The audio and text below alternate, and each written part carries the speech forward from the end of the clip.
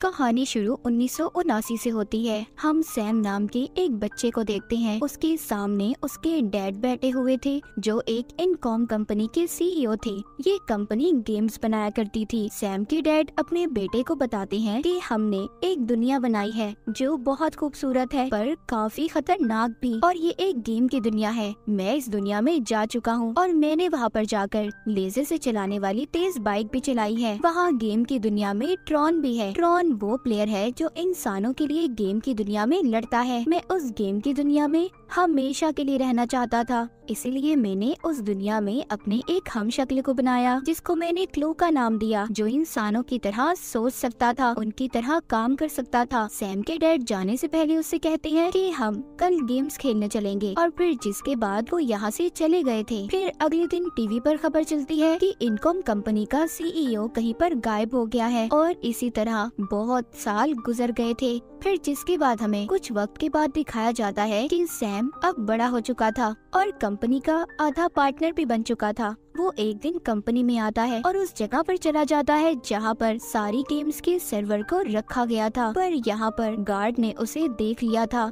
इससे पहले गार्ड उस तक पहुँचता, वो कंपनी के ऑपरेटिंग सिस्टम को ऑनलाइन कर देता है, यानी कि उन गेम्स को इंटरनेट पर डाल देता है, जिससे अब दुनिया में कोई भी, कहीं भी इस कंपनी की गेम को खेल सकता था। पर तभी इसके पास गार्ड आ गया था। सैम उससे बचता हुआ बिल्डिंग पर से टापता है और पैराशूट से नीचे कूद जाता है। पर उसको पुलिस ने पकड़ लिया था, लेकिन कंपनी में उसके डैड के एक बहुत ही पुराने दोस्त थे। जो अभी भी वहाँ पर काम करते थे, वो सैम को छुड़वा देते हैं और कहते हैं, क्या करते फिर रहे हो तुम? तुम्हें भी अब इस कंपनी में काम करना चाहिए। और हाँ तुम्हारे डैड का मुझे मैसेज भी मिला है। पर सैम कहता है, ऐसा कैसे हो सकता है? मेरे डैड तो मर चुके हैं, या फिर कहीं पर बहुत अच्छी ज़िंदगी गुजार रहे हैं। सैम के डैड के दोस्त बताते हैं कि जिस जगह से तुम्हारे डैड का मुझे मैसेज मिला है, वो जगह कंपनी के अंदर ही है। ये उसको उस जगह की चाबी भी देते हैं। ये दरअसल कंपनी में ही एक जगह थी जहाँ पर उन सारी गेम्स को रखा गया था। जो कि अब बंद हो चुकी थी। उस जगह पर आकर एक गेम से ये कपड़ा हटाता है, जिस पर ट्रोन लिखा हुआ था।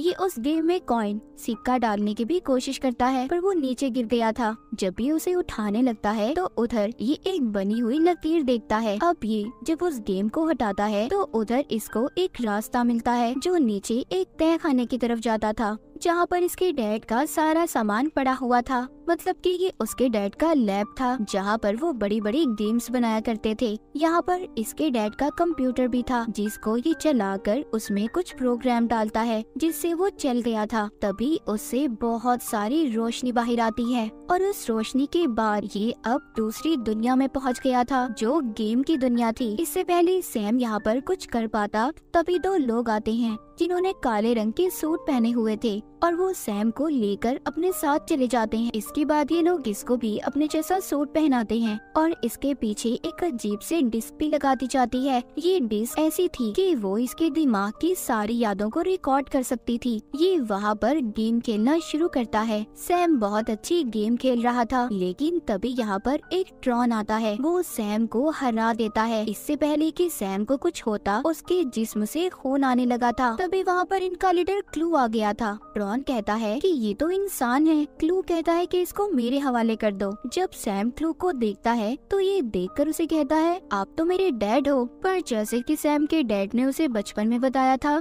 कि उन्होंने गेम की दुनिया में अपना हम शक्ल बनाया है। और ये वो ही हम शक्ल था जिसका नाम इसके डैड ने क्यूँ रखा था। क्लू यहाँ पर सैम की डिस्क को चेक कर रहा था, पर उसे वो चीज़ नहीं मिल पाती, जिसे वो ढूंढ रहा था। वो सैम से कहता है कि तुम्हें मेरे साथ गेम खेलनी होगी। अब एक तरफ़ सैम की टीम बनाई जाती है और दूसरी तरफ़ लीडर की, यानी कि उसके डैड की हमशक्ल क्लू की। ये अब लेजर बाइक पर बैठ जाते हैं और रेस लगाने लगते हैं इस लेजर लाइट के दरमियान। अगर कोई भी आएगा तो मर जाएगा। एक एक करके सभी टीम के प्लेयर्स मर गए थे। बस सैम और क्लू ही बचे थे। क्लू यहाँ पर सैम की बाइक को भी तोड़ देता है। इससे पहले क्लू सैम पर हमला कर पाता, उसे मारता, तभी यहाँ पर एक गाड़ी रुकती है, जिसमें से एक लड़की निकली थी, जिसका नाम क्योरा था। ये लड़की सैम को अब उस जगह पर ले आई थी, जहाँ पर इसके असल डैड थे। वो अपने बेटे सैम को देखकर बहुत खुश होते हैं और सैम से पूछते हैं कि तुम यहाँ पर कैसे पहुँचे इस गेम की दुनिया में? सैम कहता है कि आपने जो मैसेज अपने दोस्त को भेजा था, बस उसी की वजह से सैम के डैड कहते हैं, हम रात को खाने पर बात करेंगे। अब जब रात को ये खाना खाते हैं तो सैम अपने डैड से पूछता है कि आप वापस अपनी दुनिया में क्यों नहीं आए? मैं हमेशा आपका इंतज़ार करता रहा, पर मैं ये जानता था कि आप कहीं ना कहीं तो ज़िंदा हो। उसके डैड बताते हैं, जब हमने इस दुनिया को बनाया तो एक जादू, एक चमत्कार हुआ। यहाँ पर इस दुनिया में कुछ प्रोग्राम्स जिसको आई सॉस कहा गया, खुद ही बन गए, जिन्हें आप बहुत ही इंटेलिजेंट ह्यूमन कंप्यूटर भी कह सकते हैं। यानी कि एक ऐसा दिखने वाला इंसान जो कंप्यूटर की तरह काम करता हो, जिससे मैं अपनी दुनिया को बेहतर बना सकता था। पर जो मेरा हम शक्ल क्लू था, वो मेरे साथ बगावत पर उतर आया। उसने सभी आई आईसोस कंप्यूटर को खत्म कर दिया और साथ ही साथ प्रॉन को भी मार दिया, जिसको मैंने गेम की दुनिया में इंसानों की देखभाल करने के लिए बनाया था। ये वो प्रोग्राम थे जो दुनिया में खुद ही बने थे जिसके बाद वो दरवाज़ा भी बंद हो गया, जहाँ से मैं अपनी दुनिया से आया था। सैम अपने डैड को वो रास्ता दिखाता है, जहाँ से वो खुद आया था। वो कहता है, चले डैड मेरे साथ हम वापस से अपनी दुनिया में चलते हैं, पर उसके डैड कहते हैं, नहीं, ये रास्ता सिर्फ़ आठ घंटे तक ही खुला रहेगा। और फिर जिसके बाद जो क्लो है, वो मेरे डिस्क को हासिल कर लेगा और वो हमारी दुनिया में जाकर तबाही फैलाएगा। और यही उसकी ज़िंदगी का मकसद है। सैम के डैड ये बताते हैं, जो मैसेज तुम्हें मिला है, वो मैंने नहीं, बल्कि क्लो ने भेजा था, ताकि कोई भी इंसान गेम की दुनिया में आए और असल दुनिया का दरवाज़ा खुल जाए और ये बाहर जा सके। हमारी दुनिया में। और यहाँ पर जो लड़की क्योरा थी, वो भी एक प्रोग्राम थी कंप्यूटर की तरह थी, जिसके बारे में सैम के डैड ने बताया था। कुछ प्रोग्राम्स इस दुनिया में खुद ही बन गए थे। वो सैम को बताती है कि अगर तुमने अपने डैड की हम शक्ल क्लू को मारा तो तुम्हारे डैड भी मर जाएँगे। सैम कहता है, नहीं, मैं अपने डैड को कुछ नहीं होने दूँगा, उन्हें बचा लूँगा। जिसके बाद वो यहाँ से चला जाता है। एक बार फिर क्योरा उसके पास आती है और उसे एक नक्शा देकर कहती है इसके ज़रिए तुम एक आदमी से मिलोगे जो पहले आई सॉस की देखभाल करता था। आई सॉस वही प्रोग्राम थे जो खुद ही बन गए थे। वो आदमी तुम्हारी मदद कर सक। अब सैम अकेला ही अपनी गाड़ी लेकर उससे मिलने चला जाता है, जहाँ पर जब ये पहुँचता है तो उधर अपनी गाड़ी को बाहर ही खड़ा करके खुद उसके पास जाता है, जहाँ पर उसे एक लड़की मिलती है, जो कह रही थी कि अगर तुम हमारे लीडर से मिलना चाहते हो तो तुम्हें पहले एक गेम को खेलना होगा। उधर बाहर जो सैम ने अपनी गाड़ी खड़ी की थी, तभी बाहर क्लू के गार्ड आ गए थे और उन्हें पता चल गया था कि ये गाड़ी कहाँ से आई है। दरअसल क्लू सैम के डैड को कब से इस दुनिया में ढूंढ रहा था। ये जब उस जगह पर जाता है तो वहाँ पर इन्हें कोई भी नहीं मिलता। क्लू को बहुत ज़्यादा गुस्सा आ रहा था। सैम के डैड क्योरा को लेकर जा चुके थे। उधर सैम उस लीडर से मिलकर कहता है कि मुझे बाहर जाने वाले दरवाजे का पता करना है, पर ये नहीं जानता था कि ये आदमी भी क्लू से मिला हुआ था। यहाँ पर ये पता चलता है कि ये आदमी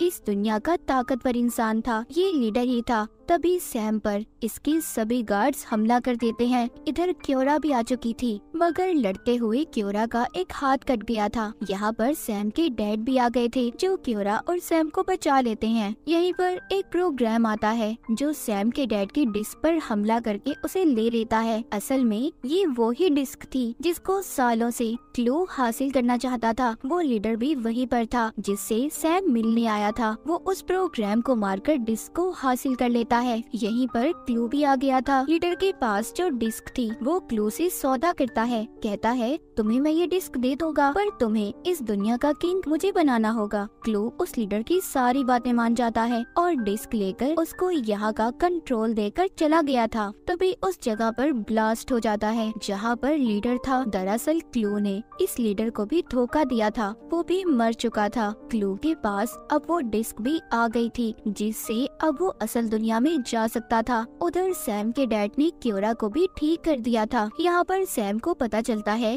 कि क्योरा आई सॉस प्रोग्राम है। वो बताती है, जब क्लू ने सभी प्रोग्राम्स को खत्म किया तो तुम्हारे डैड ने मेरी मदद की, मुझे बचाया।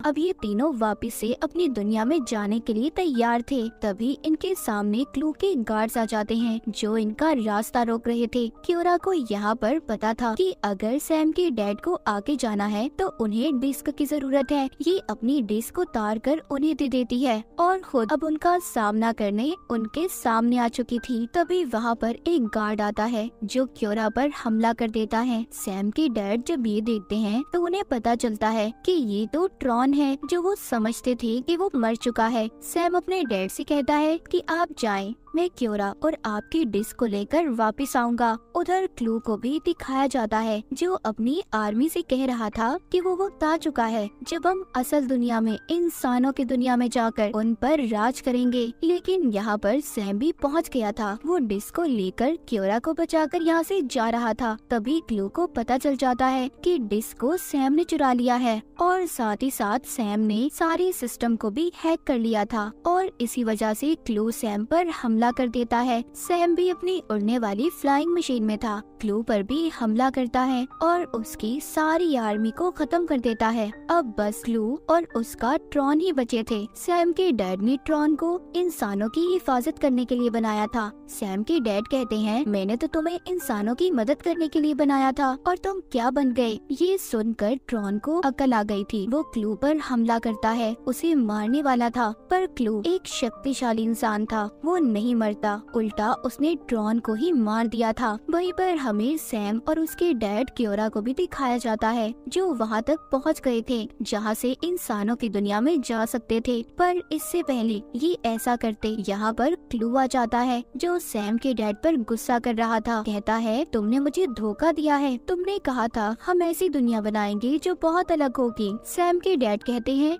न तुम मुझे समझे और न मैं तुम्हें समझा। मैं तो इंसानों के लिए अलग दुनिया बनाना चाहता था, पर तुम इंसानों की दुनिया में राज करना चाहते थे। क्लू को सैम के डैड समझाने की कोशिश करते हैं, पर वो कुछ नहीं सुनता और हमला कर देता है। इसी बात का फ़ायदा उठाकर क्योरा सैम को वापस से उसकी दुनिया में जाने वाले रास्ते पर ले गई थी। अब क्लू के हाथ में डिस्क भी आ जाती है, पर जल्द ही उसे पता चल गया था कि ये डिस्क क्योरा की है, न कि सैम के डैड की, जिससे ये इंसानों की दुनिया में नहीं जा सकता था। सैम अपने डैड को बचाने की कोशिश कर रहा था, जिस पर क्योरा कहती है कि तुम्हारे डैड यही चाहते थे कि तुम वापस से अपनी दुनिया में चले जाओ और वो इस गेम की दुनिया को भी बंद कर देंगे। तभी क्लू छलांग लगाकर सैम के साथ इस दुनिया से असल दुनिया में जाने की कोशिश कर रहा था, पर सैम के डैड उसे अपनी ताकतों से अपनी तरफ़ खींच लेते हैं, जिससे इस दुनिया में बहुत बड़ा धमाका होता है और गेम की दुनिया अब पूरी तरह खत्म हो चुकी थी। सैम उसी जगह पर वापस आ गया था, जहाँ से ये इस दुनिया में गया था, यानी कि अपने डैड के लैब में। ये गेम का सारा डाटा एक चिप में डाउनलोड करके